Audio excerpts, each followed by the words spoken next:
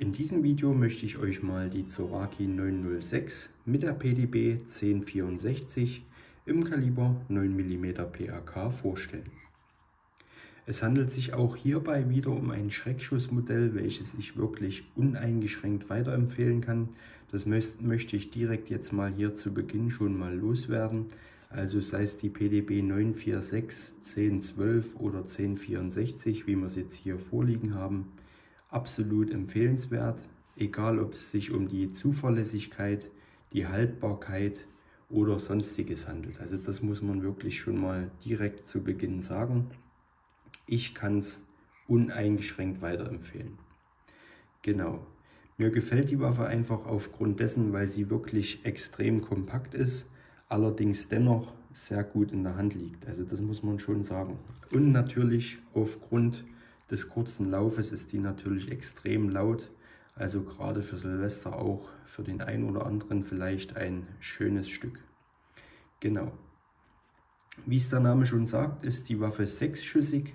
Das heißt, wir haben hier unten den Magazinauslöser an der Unterseite des Griffstücks und können somit unser sechsschüssiges Stahlblechmagazin entnehmen. Der Magazinschuh ist natürlich wieder aus Kunststoff und auch bei der Ladbarkeit, sage ich jetzt mal, vom Magazin gibt es aufgrund dessen, weil es einreich ist, überhaupt keine Probleme. Genau. Zur Waffe selbst nochmal. Die Waffe ist eine reine Single-Action-Waffe. Das heißt, ich kann den Hahn oder beziehungsweise ich muss den Hahn vor Betätigung des Schusses einmal vorspannen, damit ich den Hahn dann auch betätigen kann. Wir haben des Weiteren hier auf der linken Seite eine kleine manuelle Schwenksicherung, wo dann der Abzug gesperrt wird und somit ein Auslösen des Schusses nicht mehr möglich ist. Was wir des Weiteren haben ist extrem gut auch fürs Führen dieser kleinen Schreckschusswaffe eine sogenannte Sicherheitsrast. Das heißt wieder eine Rast, in der der Hahn nicht auf dem Schlagbolzen aufliegt, und somit gerade wenn wir die Waffe noch gesichert haben, ein sicheres Führen ermöglicht wird. Also das ist wirklich schon mal sehr gut. Des Weiteren haben wir auf der linken Seite einen Verschlussfanghebel, das heißt bei leer geschossenem Magazin, so wie es jetzt gerade der Fall war, rastet der Verschlussfanghebel selbstständig ein und man kann quasi jetzt wieder das Magazin entnehmen, füllen, erneut einsetzen und schon ist die Waffe wieder schussbereit. Genau. Die Schwenksicherung, sage ich mal, ist ebenfalls auch der Demontagebügel. Darauf gehen wir jetzt direkt mal ein zur Demontage. Ansonsten sei auf jeden Fall nochmal zu sagen, dass die Verarbeitung des Kunststoffgriffstücks extrem hochwertig ist. Also da gibt es wirklich von meiner Seite her jetzt überhaupt keine Abzug- bzw. Kritikpunkte oder ähnliches. Und auch die Oberfläche der Verschlüsse als auch der Läufe ist wirklich extrem gut geworden. Also da gab es natürlich oder gibt es auch aktuell immer mal noch so ein paar Problemfälle bei Zoragi. Allerdings muss man ganz ehrlich sagen, die Oberfläche hat halt nichts mit der Zuverlässigkeit zu tun. Zur Demontage. Zur Demontage müssen wir einfach nur den kleinen Sicherungshebel nach links, also ganz nach unten drehen und können ihn dann schon rausziehen. Der Demontagebügel ist im Übrigen aus Zinkdruckus.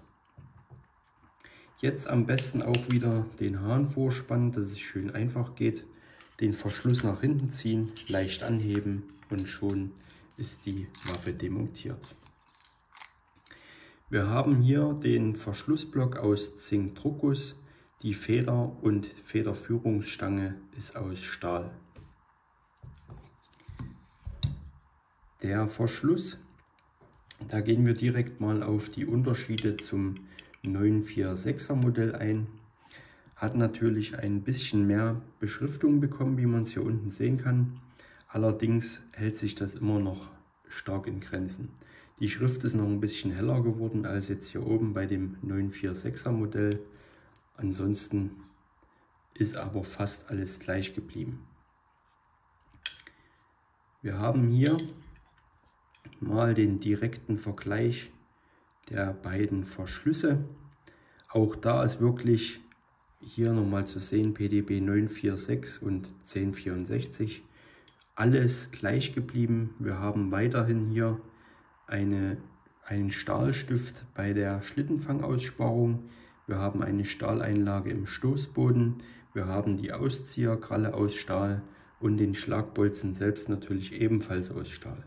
Also auch da hat sich wirklich absolut nichts geändert. Das muss man wirklich mal so sagen, weil immer viele sagen, die neuen PDBs sind irgendwie schlechter. Aber das kann ich so überhaupt nicht bestätigen. Also da ist wirklich alles gleich geblieben. Wie gesagt, auch die Oberfläche in meinen Augen sogar fast besser geworden als bei den älteren Modellen. Das ist mir auch schon bei der PDB 1070 der Zoraki 914 aufgefallen. Also da kann man wirklich nichts sagen. Zum Griffstück. Hier haben wir auf der rechten Seite das Modell der 946 und hier unseres 1064. Also auch da, wenn man schon mal so grob drüber schaut, gibt es überhaupt keine Unterschiede. Wir haben auch hier immer noch den Ausstoßer, welcher aus Stahl ist. Der Verschlussfanghebel ist ebenfalls immer noch aus Stahl und des Weiteren haben wir auch hier noch die Stahleinlage im Hahn. Also auch da gibt es keine Negativpunkte, ist alles gleich geblieben und das Einzige, was sich hier tatsächlich geändert hat, man kann es schön sehen, ist die Ausfräsung im Patronenlager. Hier oben haben wir die PDB 946, hier unten die 1064. Ist halt jetzt im Vergleich zur alten PDB auf beiden Seiten geschwächt. Aber auch das macht überhaupt keinen Unterschied. Ist ebenfalls nichts Negativeres. Zur Laufsperre, auch da kann man nicht wirklich sagen, dass sich da viel geändert hat. Also das ist wirklich auch noch nahezu gleich geblieben. Die größte Änderung ist bei diesem Modell mit der 1064 tatsächlich die Schwächung im Patronenlager. Ansonsten zusammengebaut wird die Waffe natürlich wieder in umgekehrter Reihenfolge. Verschlussblock samt Federführungsstange einfach einsetzen dann natürlich den passenden Verschluss aufsetzen. Einmal nach hinten und schon ist die Waffe wieder montiert. Ansonsten jetzt natürlich noch den kleinen Montageblock rein, beziehungsweise Montagehebel, den Sicherungsblock. Das geht tatsächlich bei den neueren Modellen ein bisschen schwerer als bei dem alten. Allerdings tut das nichts zur Sache. Kommen wir direkt mal zum Lieferumfang. Dabei ist natürlich noch so ein kleiner Kunststoffkoffer, der Zoraki 906. Des Weiteren dann die übliche Beschreibung. Auch da natürlich in den verschiedensten Sprachen nochmal beschrieben. Und auch da gibt es natürlich wieder sämtliche Warnhinweise und halt auch zerlegen zusammenbauen. Als auch eine kleine Explosionszeichnung. Des Weiteren natürlich dann noch die Reinigungsbürste und der PDB-konforme Abschussbecher. Ist mittlerweile auch wieder so, dass nur noch die eine PDB draufsteht. Genau.